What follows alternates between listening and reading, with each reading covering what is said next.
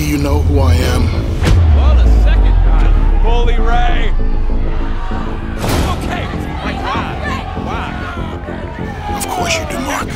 If we were playing word association right now, what's the first thing that comes to mind when we mention the word Mark Haskins?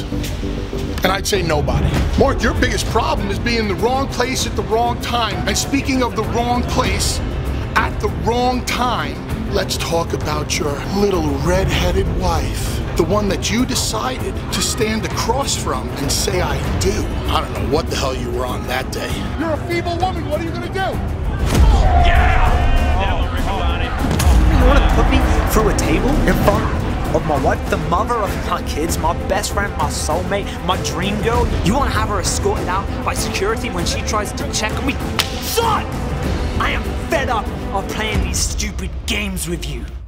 No one puts their hands on my wife. Don't jump me when I'm down. Why don't you come and do something? You got a problem with me? Come and do something when I'm up. Am I to believe that maybe Vicky Haskins wears the pants? I saw more fire in her eyes than I've ever seen in yours.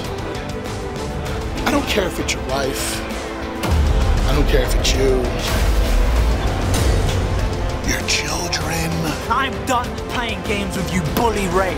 Bully Ray, what the hell, Bully? Nah, you ain't a bully, you're a cowardly little. I'm gonna make you famous.